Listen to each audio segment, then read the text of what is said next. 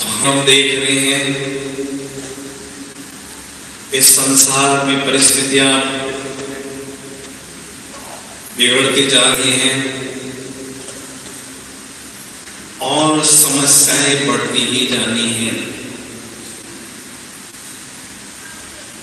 इन बढ़ती हुई समस्याओं का सामना करने के लिए अच्छा स्थिति बनाना परम आवश्यक है।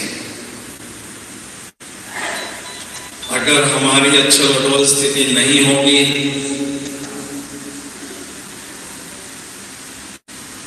तो परिस्थितियाँ हमें कट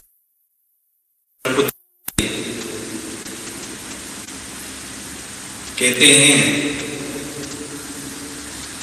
जैसी स्थिति वैसी स्तुति होती है। अर्थात,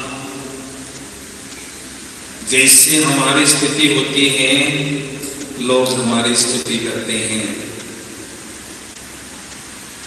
जैसे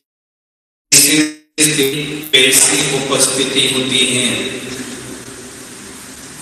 अर्थात, जहाँ हम जाते हैं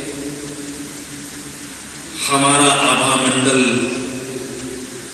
स्वतः ही सेवा करता रहता है। हमारे स्थिति से वाइब्रेशन चारों ओर फैलते रहते हैं।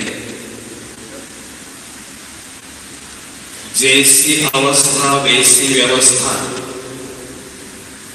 अर्थात जैसी हमारी अवस्था होती है वैसी आत्माओं के द्वारा और प्रकृति के द्वारा व्यवस्था होती रहती है।